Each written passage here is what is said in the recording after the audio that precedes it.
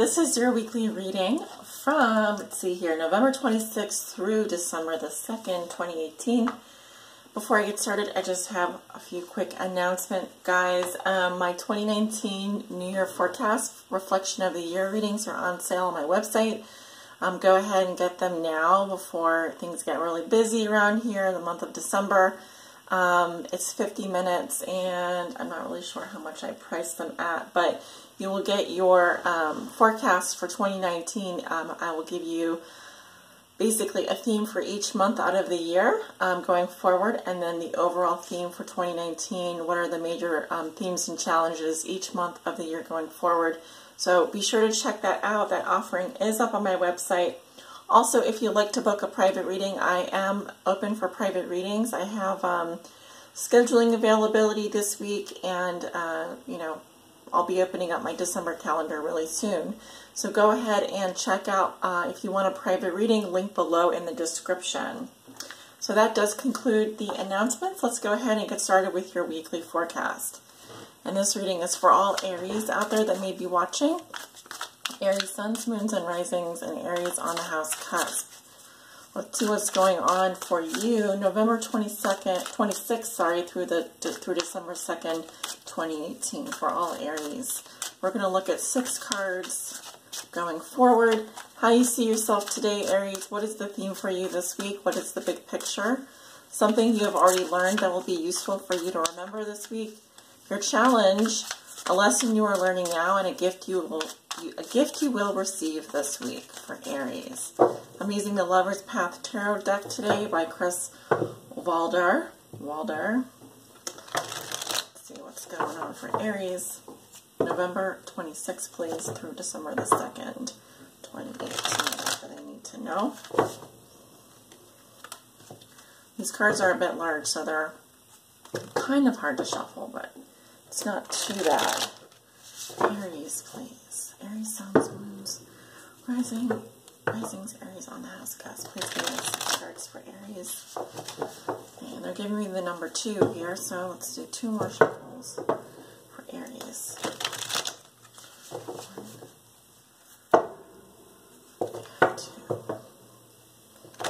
Thank you guys so much for coming back to my channel. And if you're new here, definitely want to welcome you to my channel where we are doing weekly readings over here, bi-weekly readings and monthly readings whenever I can get those out.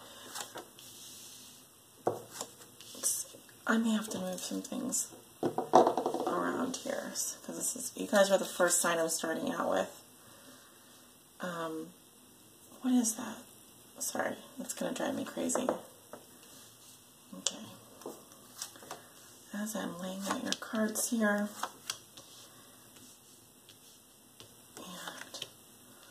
Hopefully you guys can see all the cards. That's important. Okay, and we have the Two of Coins underneath the deck here, and it is coming up reversed.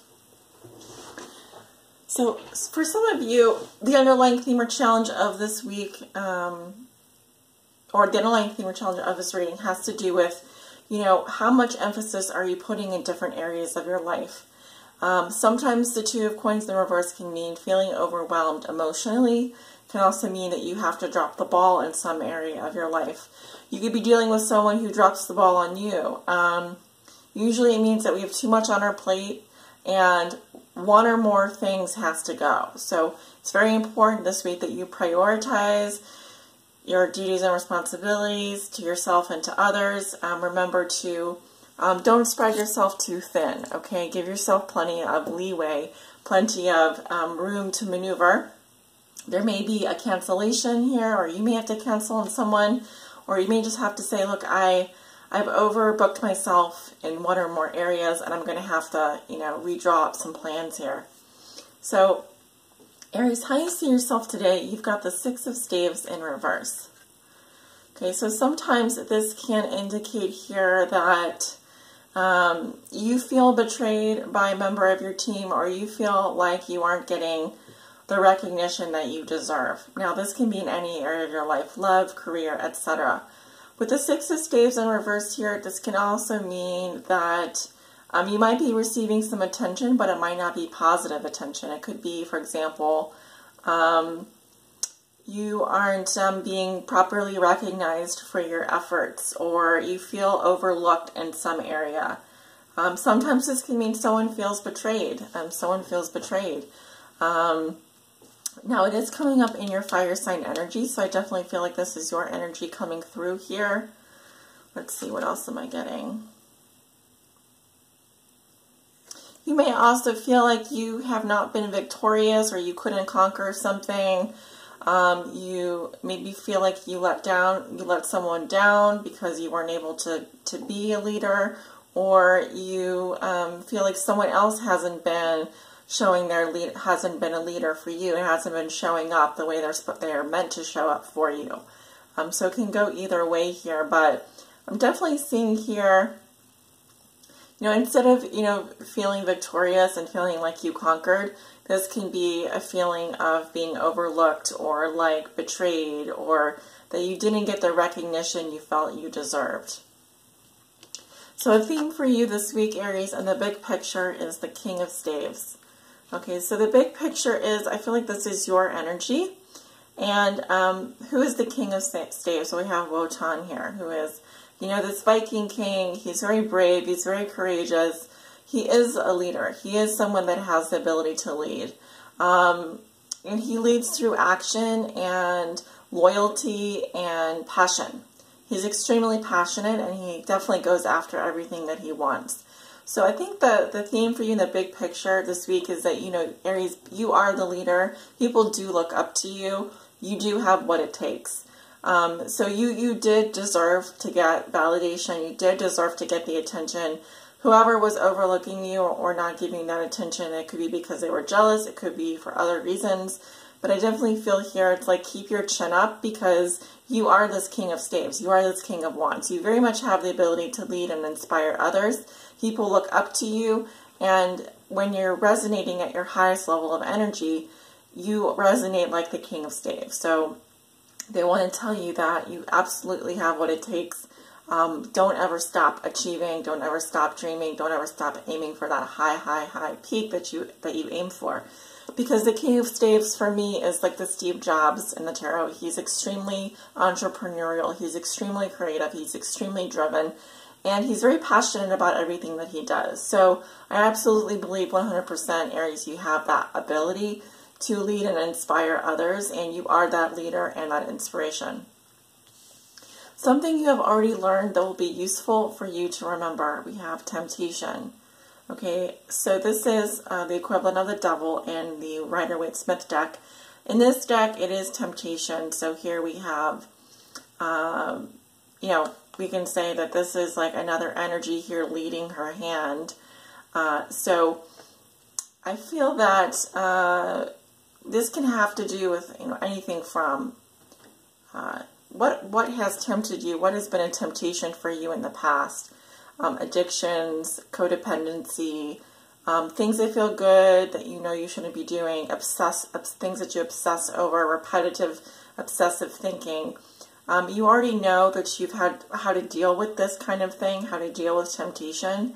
Um, in fact, I feel like you can probably recognize it when it's coming on, when you when you are around it or when you feel like you're going into some, you know, you're going down into that deep dark area. So um, they want you to remember that you've learned how to overcome your temptations. You've learned how to break addictive cycles.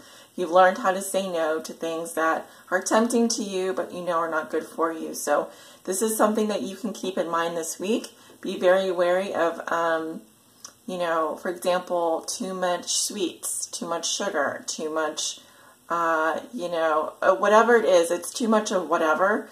Um, going to that place, it's just whatever extra. Um, be wary of being too extra in any area of your life. Um, and just, you know, try to, to stay grounded. And I would also recommend burning sage.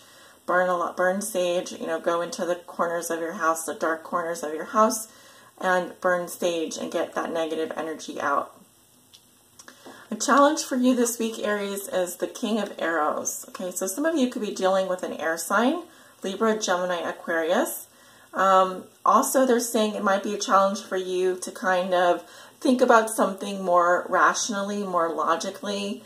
um, more detached because the King of Arrows is very detached in his thinking. He's a mastermind. He's a planner. He's a strategizer. Um, he also can, for example, look at things from a very objective standpoint, such as like a lawyer or a doctor, in order to solve a problem. So he's a great problem solver. He's um, he can if he if he needs extra information or needs to learn something, he'll just pick up a book and learn it. Um, so yeah, he, he can be very reliant on things that you can see, um, you know, things that uh, are factual. Um, also, if you're dealing with someone like this and they are coming up as a bit of a challenge, uh, the way to approach this type of person is, or to meet them on their level, um, you know, you want to present things uh, and be very truthful to this type of energy because um, this person doesn't take any BS or, or they, um, you know, they're, they're more of an intellectual than anything. So um, I feel like a challenge for you this week is to kind of um, look at the fine print, uh, be logical, okay, use your head here. Um, you may have to be a little bit cold and distant with people. You, you have to kind of protect yourself um, uh, and use reason. Be very reasonable. You know, don't uh, don't be fooled by you know the all that glitters in the world. Um, really look at things and see if they make sense, um, and approach them with quite a lot of logic and reason. A lesson you are learning now, Aries, is the Princess of Coins. Okay. And we have a female earth energy here. Princess of Coins is um, someone who who's she's she's very earthy. First of all, um, she's very grounded, and she can sometimes represent um, the body, a physical connection to nature. There could be a message for you in nature or in within the physical body, such as health, diet, the body, etc. Um, her lessons have to do with like paying attention to um, your body, your diet, what you're eating, um, yeah, what you're putting into your body, etc. And also to really pay attention. Also, I feel like to the signs and symbols around you. For example, if you're out on a walk, etc. Um, and you might hear a little bird singing, or you might see a little, you know, bunny, a little rabbit or something. There can be animal totems and spirits around you that are communicating to you through nature. So um, I definitely feel like there's some lessons there. Also, this could be a lesson regarding money, your health. Um, I'm also, I feel like um, there's a humbleness about the Princess of Coins not taking anything for granted, being very grateful for what you have, um, possibly spending some time out in nature. Um, because we have Danae here, Danae, sorry, I don't know how to pronounce her name.